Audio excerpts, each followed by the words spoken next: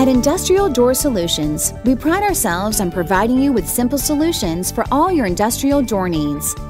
This includes service, sales, and preventive maintenance work on hollow metal and aluminum doors, overhead doors, rolling steel, sectional doors, dock equipment, fire doors, high speed doors, and much more. We offer a wide array of manufacturers of doors and their parts, and we stand behind every service and product we deliver and service. You can depend on us for all of your industrial door needs. Call today. Industrial Door Solutions, 716 674 4092.